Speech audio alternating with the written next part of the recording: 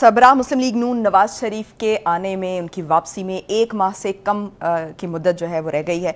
और इसके जैसे जैसे वक्त करीब आता जा रहा है हम देख रहे हैं कि कुछ कानूनी तकाजे जो हैं वो ओपन हो रहे हैं। कानूनी केसेस जो हैं वो आ, खोल दिए जा रहे हैं। नैब जो है वो उसने तीन केसेस जो हैं वो खोल दिए हैं। गैर कानूनी प्लाटों की अलाटमेंट है और लाहौर में ज़मीनों पर कब्जा है। और तीसरा केस है चौधरी शुगर मिल्स केस।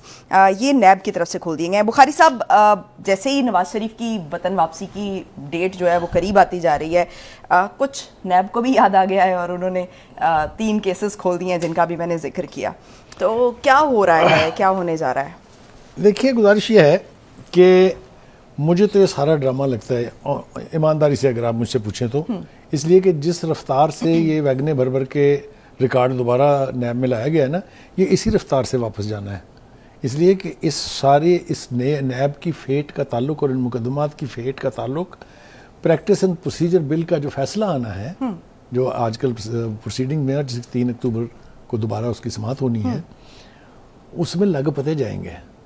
पता नहीं लग जाएगा। हम्म। लग पता जाएगा।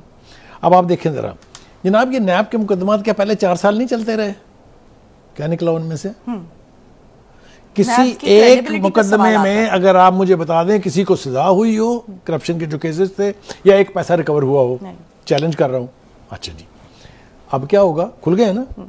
अगर खुल जाते हैं तो खुले रहेंगे हम्म। चलते रहेंगे। हम्म। इसलिए कि इनके बारे में मुकदमात के बारे में मैं दो कोर्ट्स देना चाहता हूँ आपको और अपने नाजरीन को। पहला कोर्ट है चीफ जस्टिस साहब का जो इन्हीं के दिलदादा मर्ज़ी के चीफ जस्टिस थे। उन्होंने कहा कि नैब को सियासी जमातों की आम ट्विस्टिंग के लिए इस्तेमाल किया जाता हम्म। रहा। एक चारों हाई कोर्ट के जजेस चीफ जस्टिस जो हैं उन्होंने कहा कि एक केस में अब तक प्रोसिक्यूशन कुछ साबित नहीं कर सकी। क्यों? एक तो इनके पास सबूत नहीं थे। हम्म। दूसरा प्रोसिक्यूशन बहुत कमज़ोर थी यानी मुकदमा बहुत कमज़ोर बनाया गया था। ये मैं तो नहीं कह रहा ना हम्म। ये तो रिकॉर्ड की बात है ना? अच्छा जी। थोड़ा सा जरा जो है और जरा वापस चलते हैं। जरा देखिए एक चेयरमैन होते थे नैब के नाम था जस्टिस जवेद इकबाल। मेरे हिसाब से तो वो एक सियासी जमात की ब्रोकरी करते रहे हैं इसलिए कि जो पीटीआई के वज़ीर होते थे चाहे वो शेख रशीद थे चाहे वो फवाद चौधरी थे वो प्रेस कॉन्फ्रेंस पहले करके बताते थे कल को कौन पकड़ा जाएगा हम्म। फलां परसों पकड़ा जाएगा किस जेल में जाएगा किस जेल में कमरा तैयार हो रहा है इसको इतनी सजा होगी याद है ना? दस साल नवाज़ शरीफ को सजा होगी ये क्या इन लोगों ने ऐलान नहीं किया था सजा होने से पहले? पहले कर देता था। तो ये कौन सी अदालत थी भाई?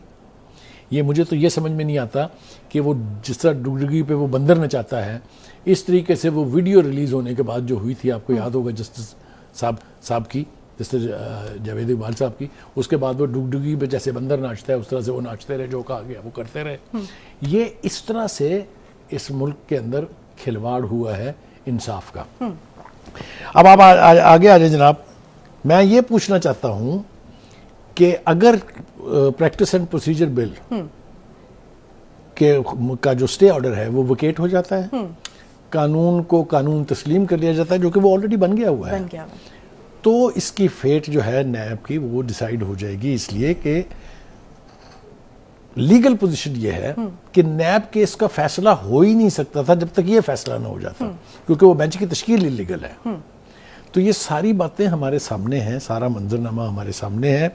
आप अगर आज भी नैब को इस्तेमाल करके किसी भी तरीके से किसी सियासी यानी शख्सियत का रास्ता रोकना चाहते हैं, किसी सियासी पार्टी का रास्ता रोकना चाहते हैं, हम उसके खिलाफ हैं। तो बुखारी साहब, ये नैब और नैब जैसे इदारे, माजी में भी आपने देखा, एबडो प्रोडा वगैरह जो ये अयूब खान के दौर में भी रहे और वो लियाकत अली ख़ान के दौर में भी रहे। तो ये इस तरह के इदारे हमेशा वो जोड़ तोड़ के लिए इस्तेमाल किए जाते रहे हैं और इनकी जो क्रेडिबिलिटी है वो आपको पता है कि किस किस्म की है। तो इनकी क्रेडिबिलिटी पर जब इतने सवाल आते हैं तो फिर इस तरह के इदारे जब ये गवर्नमेंट्स आती हैं तो फिर ये इनको ख़त्म क्यों नहीं कर देती? उनमें तरमीम ले आती हैं लेकिन उनको ख़त्म करने का मैं आपको मैं आपको इसकी मिसाल देता हूँ? आप देखिए नवाज़ शरीफ के ऊपर एक केस ये है हम्म। कि उन्होंने अपनी अपने इख्तियार से तजावज़ करते हुए हम्म। एक मीडिया के चीफ को ज़मीन अलॉट कर दी। हम्म। ठीक हो गया जनाब? नहीं होनी चाहिए थी। तो आपने ये केस क्यों नहीं खोला कि उसी नवाज़ शरीफ ने शौकत खानम के लिए कनालों में नहीं एकड़ों में जगह दी थी? उस पर तो किसी के पेट में दर्द नहीं हुआ। तो ये इंसाफ हो रहा है। ये जो सिलेक्टिव अकाउंटेबिलिटी आप करते हैं this is worst than having no accountability because आप ये गड़े मुर्दे उखाड़ रहे हैं। लेकिन वो तो अच्छे कॉज के लिए था। जी वो अब कॉज जो है कॉज और एक्ट एक्ट तो वही है ना। वही शख्स है वही इख्तियार से तजावज़ है। एनी anyway, ये मैंने आपको हल्का सा साइड पे एक रेफरेंस दिया। मैं इस प्रोग्राम की वसात से जनाब काजी फाइज ईसा साहब चीफ जस्टिस ऑफ़ पाकिस्तान से दरख्वास्त करता हूँ कि खुदा के लिए इस अदारे ही को बंद कर दें।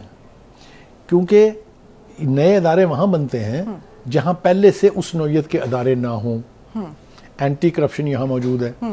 उसका काम ही सिर्फ़ करप्शन के ऊपर एक्ट करना है। एफ़ आई ए यहाँ मौजूद है। ठीक है? तो एक तीसरा अदारा ये एक मिलिट्री डिक्टेटर ने बनाया था जिसका नाम जनरल परवेज मुशरफ था। ये उसका बेबी था।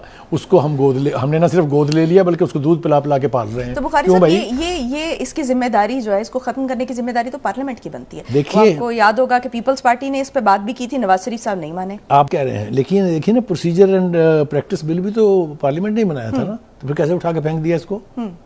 मैं ये नहीं कह रहा कि पार्लियामेंट ना करे पार्लियामेंट को चाहिए था। मैं ज़िम्मेदारी से पीपल्स पार्टी की तीन हुकूमतों को नून लीग की तीन हुकूमतों को जिम्मेदार करार देता हूँ कि उन्होंने भी इनको अपने मकसद के लिए इस्तेमाल किया। इस अदारे का वजूद उनके दौरे हुकूमतों में खत्म हो जाना चाहिए था। ले, आज ये नासूर की तरह है। इससे जान छुड़ानी मुश्किल हो रही है, क्योंकि जो, जब मौका था उनके पास, जब इख्तियार था उनके पास, तब उन्होंने YouTube पर गूगली न्यूज़ देखने के लिए youtube.com की सर्च बार में गूगली न्यूज़ टीवी टाइप करें। गूगली न्यूज़ के पेज पर सुर्ख रंग के सब्सक्रिप्शन वाले बटन पर क्लिक करना ना भूलिए। YouTube पेज पर अपलोड होने वाली वीडियो से बाखबर रहने के लिए बेल आइकन पर क्लिक कीजिए। आपको हर नई वीडियो के बारे में नोटिफिकेशन मौसू हो जाएगा।